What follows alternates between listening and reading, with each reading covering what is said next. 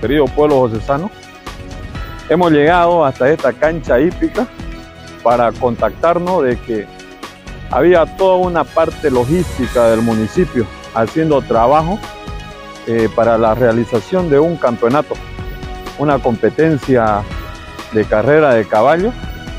Y pudimos contactar de que había un sinnúmero de maquinaria que ni siquiera en los incendios pues lo hemos visto, no es tal despliegue, pero para este tipo de competencia son número uno.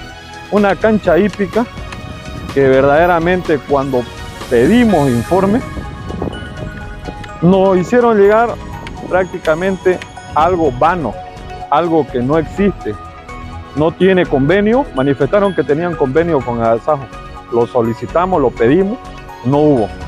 Con Nabol llamamos a los representantes, nos dijeron que más bien esta cancha constituye un peligro para las aeronaves que asientan aquí en esta pista. No digo aeropuerto porque es una pista.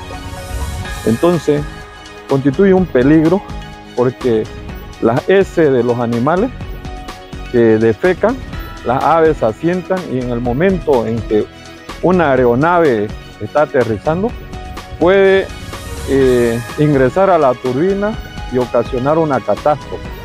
De la misma forma, la basura que deja el público que viene a espectar, de la misma forma puede entrarse a las hélices o también a las turbinas y ocasionar este sinnúmero de, de accidentes. El gobierno municipal manifiesta que no deroga recursos municipales aquí en esta cancha hípica, pero sin embargo vemos a funcionarios municipales, vemos maquinaria trabajando. Y bueno pues las imágenes hablan por sí solas, ahí tiene.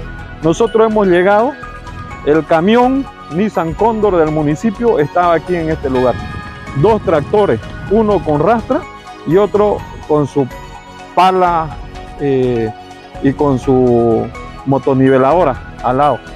Entonces, todo eso, ni bien nos vieron llegar, se desplegaron. Mis colegas son testigos de lo que yo les estoy manifestando. Entonces, es un abuso de no atender los incendios para poder atender algo que verdaderamente benefician a dos o a tres personas.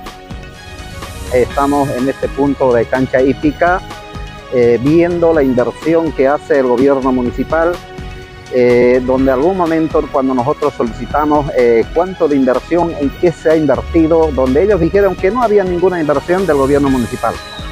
Sabiendo que hay otras necesidades más urgentes, donde se puede invertir en el tema de salud, en el tema de educación, en el tema de los incendios forestales, lo cual no sé hasta dónde se ha invertido, pero sin embargo en esta cancha hípica se está invirtiendo un montón de los recursos del gobierno municipal. ¿No? Entonces, eh, en nuestro rol de fiscalizador venimos a fiscalizar y posteriormente informar a la población que se están invirtiendo recursos del gobierno municipal en esta cancha hípica seguramente para beneficiar a unas cuantas personas.